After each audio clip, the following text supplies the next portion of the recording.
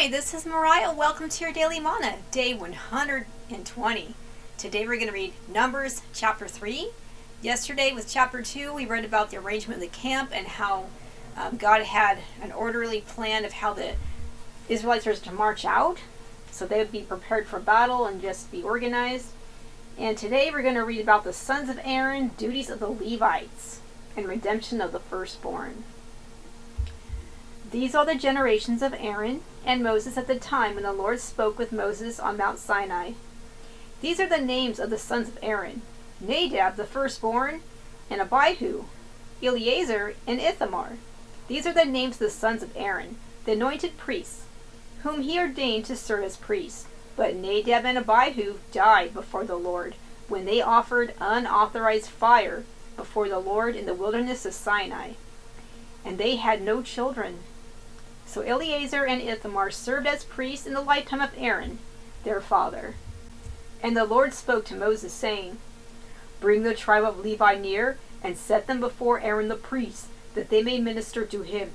They shall keep God over him and over the whole congregation before the tent of meeting, as they minister at the tabernacle. They shall guard all the furnishings of the tent of meeting, and keep God over the people of Israel, as they minister at the tabernacle. And you shall give the Levites to Aaron and his sons. They are wholly given to him from among the people of Israel. And you shall appoint Aaron and his sons, and they shall guard their priesthood. But if any outsider comes near, he shall be put to death. And the Lord spoke to Moses, saying, Behold, I have taken the Levites from among the people of Israel, instead of every firstborn who opens the womb among the people of Israel. The Levites shall be mine, for all the firstborn are mine. On the day that I struck down all the firstborn in the land of Egypt, I consecrated for my own all the firstborn in Israel, both a man and a beast. They shall be mine. I am the Lord. And these are the names of the sons of Gershon by their clans, Libni and Shimei. And the sons of Kohath by their clans, Amram, Izhar, Hebron, and Uzziel. And the sons of Merari by their clans, Mahli and Mushi. These are the clans of the Levites by their fathers' houses. To Gershon belonged the clan of the Libnites and the clan of the Shimeites. These are the clans of the Gershonites. Their listing, according to the number of all the males from a month old and upward, was 7,500. The clans of the Gershonites were to camp behind the tabernacle on the west, with Eliasaph, the son of Lael, as chief of the father's house of the Gershonites. And the guard duty of the sons of Gershon in the tent of meeting involved the tabernacle, the tent with its covering, the screen for the entrance of the tent of meeting, the hangings of the court, the screen door of the court that is around the tabernacle, and the altar, and its cords, all the service connected with these. To Kohath belonged the clan of the Amorites, and the clan of the Izharites, and the clan of the Hebronites, and the clan of the Uzzielites. These are the clans of the Kohathites. According to the number of all the males, from a month old and upward, there were 8,600 keeping guard over the sanctuary. The clans of, of the sons of Kohath were to camp on the south side of the tabernacle, with Elizaphan, the son of Uzziel, as chief of the father's house of the clans of the Kohathites.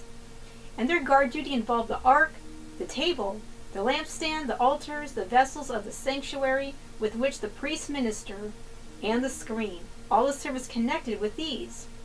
And Eleazar, the son of Aaron the priest, was to be chief over the chiefs of the Levites, and to have oversight of those who kept guard. 3. To Merari belonged the clan of the Mahlites and the clans of the Mushites. These are the clans of Merari. Their listing, according to the number of all the males, from a month old and upward was 6,200. And the chief of the fathers of the house of the clans of Merari was Zuriel, the son of Abihail. They were to camp on the north side of the tabernacle. And the appointed guard duty of the sons of Merari involved the frames of the tabernacle, the bars, the pillars, the bases, and all their accessories, all the service connected with these, also the pillars around the court, with their bases and pegs and cords. Those who were to camp before the tabernacle on the east, before the tent of meeting, towards the sunrise, were Moses and Aaron and his sons, guarding the sanctuary itself. to protect the people of Israel, and any outsider who came near was to be put to death. All those listed among the Levites, whom Moses and Aaron listed at the commandment of the Lord, by clans, all the males from a month old and upward were 22,000. Redemption of the firstborn. And the Lord said to Moses, List all the firstborn males of the people of Israel, from a month old and upward, taking the number of their names. And you shall take the Levites for me.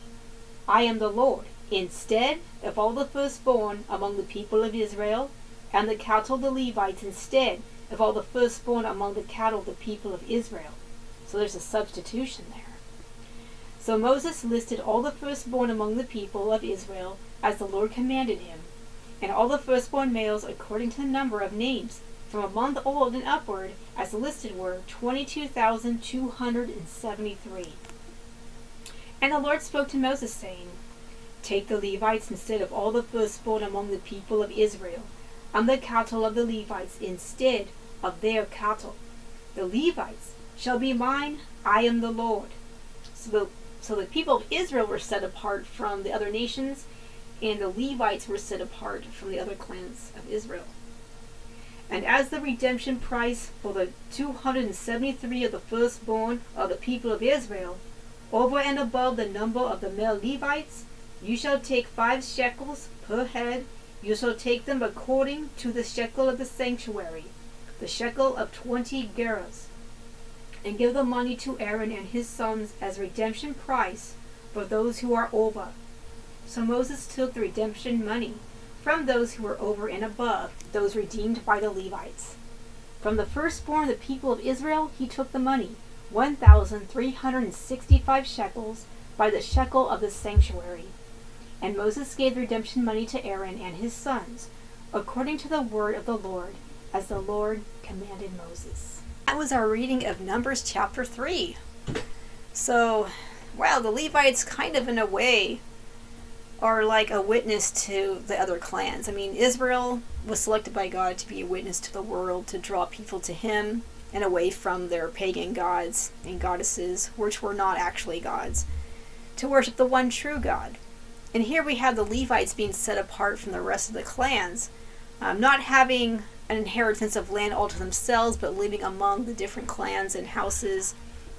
And the Lord Himself being their inheritance and their portion. So they were set aside from the people who were set aside. It's like a double um, selection there. You know, it's kind of like um, the Levites, instead of trusting in, you know, looking forward to maintaining inheritance that was physical, they were to be satisfied with the Lord and relying completely on Him and the provisions. You know, the people bringing their animal sacrifices for their meat and their bread and so, um, because of that special calling, there was opportunity for them to be spiritually more connected to the Lord. So um, that was their special calling. In fact, God has a calling for everyone. But to find our calling, we must stop striving for the temporary things of this world and seek the Lord God with all our heart and soul. All right, everyone, that concludes today's reading. Next time we'll read Numbers chapter 4, the census of the Levites and their assigned duties. Until then, I just want to say thank you for listening. I hope you have a great day. God bless. Stay humble and true to the faith. Until next time, bye for now.